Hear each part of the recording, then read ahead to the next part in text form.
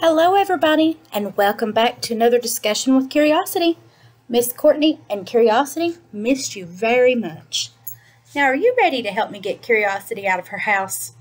I think she's ready. Let's start our song. Cat in the box, sit so still. Will you come out?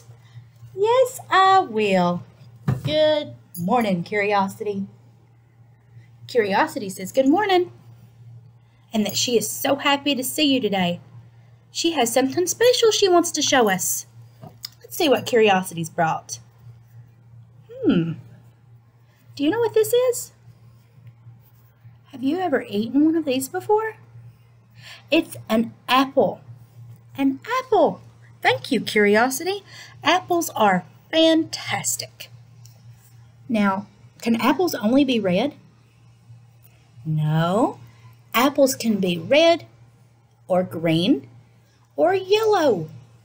Some apples taste a little sour and some are very sweet.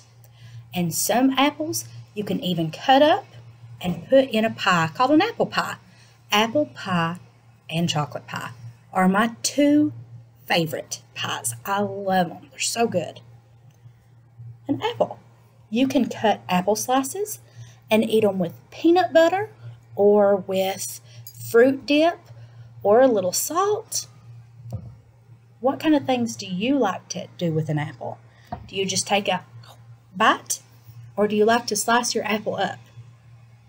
What other things have you ever made with an apple? You can make apple stack cake, apple sauce.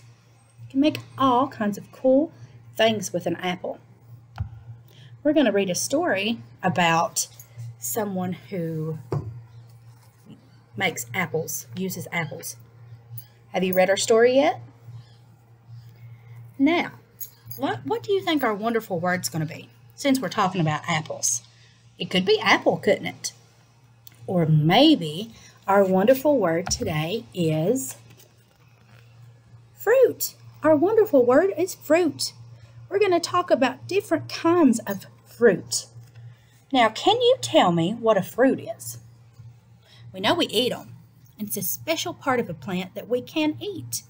And a lot of times fruits are sweet. They can grow in on trees or in bushes. Fruit. Fruit. Good work. Now we are going to talk about our special rhyme. Does anyone remember our rhyme? Can you do it with me?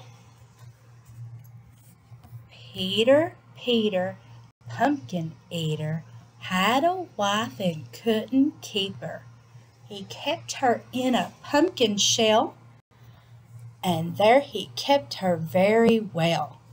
Nice work. I am going to go eat my apple, and I will see you guys soon.